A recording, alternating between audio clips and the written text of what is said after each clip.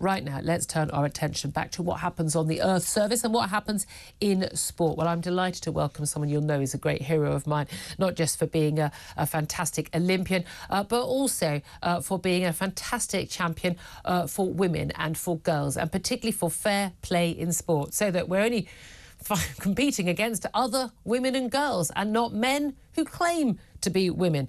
Well, she's got a brand new book out called Unfair Play The Battle for Women's Sport. And I'm delighted to say she joins us right now to talk about it. Good morning to you, Sharron.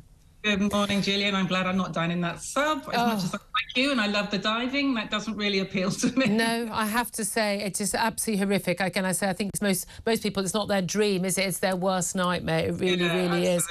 Um, we've spoken to you many times on the show um, about about where we are in terms of trans activism, trans ideology, and how that is impacting on real women and real girls' lives, I the only kind of women and girls there are. Um, and we've talked a lot about, you know, what happens in prisons, um, women having, you know, uh, being safe in prisons from, from male predators pretending to be women. We've seen this all over Nicola Sturgeon, pretty much ousted her from power. Um, uh, we, we've talked about, you know, people not wanting to be in changing rooms with people of the opposite sex. I would include men not wanting to be in changing rooms with women. But it's actually on the, uh, I suppose, on the sports field where some of these battles have played out the most. And perhaps it's come to the fore and come to a lot of people who don't perhaps get involved in the politics of all of this so much, but just ordinary people going, hold on a minute, why is that six foot three bloke winning a women's medal in that sport? And that's what your book's about, isn't it? Yeah, well, the book is is called Unfair Play because it's about the challenges to women's sport for a long time. So, for example, um, there's a thousand women in the UK that earn their living out of sport. There's nearly 11,000 men um, 1% of the US sponsorship dollar goes to women's sports women and 4% of airtime. So we already have this really tiny piece of the cake, which in some sports it's growing. You know, football and rugby is definitely getting a bit more airtime, but sometimes it's at the expense of the other sports. If I ask the general public to name me the best British female swimmer at the moment, they probably really struggle, yeah. even though we've got two Olympic gold medalists in our mixed medley relay team. So you know, it, it, it's not good. It's not necessarily going in the right direction. And when we have this big, you know, this tiny, tiny piece of the cake, we're now being expected to move over for a known advantage. That's the thing that's so frustrating. There are 18 peer reviewed studies out there. Not a single one of them shows that we can remove male puberty advantage. So we're asking our young girls and our women to stand next to people who have a known advantage. And yet we have WADA, which is the World Anti Doping Agency, trying to stop people from taking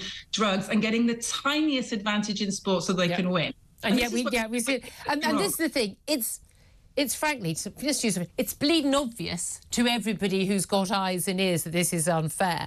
And yet the argument has been, look, we need to be inclusive. And look, it's only a few people. We all remember the Olympics when we had the uh, the trans woman uh, uh, competing in the weightlifting. They said, but but you know, they said she man, he didn't even win. So what's the big deal? But actually, this is happening across they are, the board. They are winning. Yeah, they, yeah. Well, a they are winning. We saw with Lia Thomas in in, uh, in yeah. college swimming, but also this is happening not just in elite sport. It's happening, you know, everywhere. I remember I remember recovering a couple of years ago. Kent County Cricket, their Women Cricketer of the Year was a six foot man.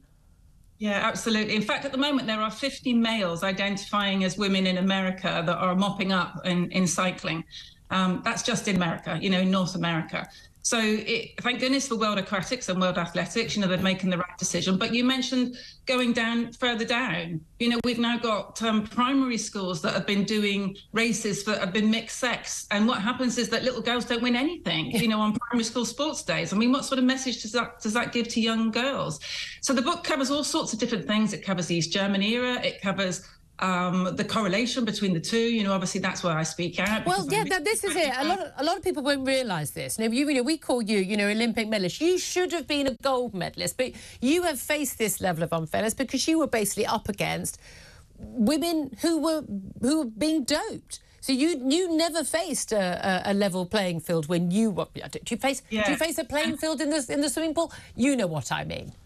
Absolutely. And, and we all our paperwork shows that the East Germans could make about a 9% improvement. And they totally dominated. Yeah. They won 92% of the medals at European Championships, six medal podium sweeps at the Olympic Games where I won, we know, won my medal. And males have a 10 to 30% advantage. And it crosses all levels of sport. So the East Germans are really just concentrating on swimming, track, and, and a bit of rowing. And look how dominant they were. Yeah. You know, they absolutely wiped the floor, but they didn't bother with the American championships, the British championships, the age groups, the county champ, all the other, the masters events mm. or anything. They were all just yeah. left alone. So imagine how it is going to affect. Yeah. we just say we're going to allow this male advantage. Indeed. And it, most of us, most of us would just, yeah, most of us would just use a simple word. We'd call it cheating. We often see again and again. Say with Lia Thomas in America, he he was ranked when he was competing as a man. Um, he was he was ranked below 400, and then suddenly he's oh, one of the best. So much worse than that. In the world, Lia Thomas was ranked not even in the top 10 thousand, right? So that was in America that they were ranked 465th. Yeah. But in the world, they weren't even the top 10,000. And yet they beat three American Olympic silver medalists in the space of converting and transferring from in one year. The important thing is that everybody should have access to sport, yeah. right? I love sport. I want everyone to be able to do sport. My position has never been an anti-trans position. No. It's always been a pro female, a pro fair sport position, and let's use the science. So the book outlines all the history, all the craziness of Coubertin, who tried to keep women out of the Olympics, mm. the East German era, which really I thought I knew everything, and there's some extremely shocking stuff in the yeah. book, which is which the IOC just turned a totally and blind eye to. The IOC are not the people to look up to to no. how to sport. And so it's a, it's been fun. I'm glad it's there. It's a bit of a reference book, and I hope people can use it to try and put yeah. pressure but, but this is to do the right thing. So often the people making these decisions, the people commenting, it simply don't know enough facts. And you talk about you know the male puberty advantage, and people say, well, oh okay, but you know if they if they manage to lower their testosterone, there's no there are no changes you could make to any male body post puberty that will, in fact, pre puberty. Who are we kidding? That will actually make make it a fair playing field. I mean, when we talk about you know cycling, swimming, rugby. I mean, rugby. I mean, we're talking about huge huge worries. Boxing. Yeah, contact and, and, sports. You know, there's a real serious. Uh, I mean of somebody losing their life. Yeah, I'm not a big fan of men who want to punch women in the face. I'm old fashioned like that. And I think most people feel the same way. But we are seeing, you know, there, there are clearly huge advantages. If you're a six foot bloke with broad shoulders, big feet, and big hands, of course you're going to be able to swim faster uh, than a woman. The, you know, the tallest woman in the world isn't going to be as big as as big as you. But but it's amazing how many more women are standing up. We, we've seen, you know, women having to stand there as, as someone who's winning first place, and these women are sort of half the size, looking like what on earth just happened. Um, more and more people are speaking out, and that is encouraging a lot of women athletes to say, "Up with this, we will not put." And they are saying, "You allow that man to race, pretending he's a woman." And they're not even men who, I mean, they're walking around with their bits hanging out in the changing rooms, for goodness sake. I mean, stuff that would be totally unacceptable. Well, I don't, I don't know if a single transgender woman athlete mm. in the world of elite sport that, that's had any form of surgery whatsoever. So, you know, it's not, it, it, you know, and reducing testosterone does practically nothing. You know, we've got studies from last September coming out of Brazil, one of the biggest, oh. and that said, after 14 years, they still weren't able to remove the advantage. So yeah. that's after 14 years. So we know that it's not a level playing field, and we yeah. are gradually putting pressure on the governing bodies. But things like Strava, you know, which is the recording system for cycling, yeah. park run, people just have to self-identify. So what we're finding is transgender women are taking women's records, women's course records. You know, what are we going to have left? Yeah. So it's time for the silent majority to speak up and say, no, find better options. There are better options. Add extra yeah. categories. Add extra categories. Well, trans category. Look, a trans category would just be trans women, i.e., men winning everything. Or you know what they can do? They can compete with other men because that's what they are. Um, yeah. Fantastic to talk to you, Sharron Davies. Again, absolute hero, Olympic medalist, medalist swimmer, should be in a gold uh, medal winner.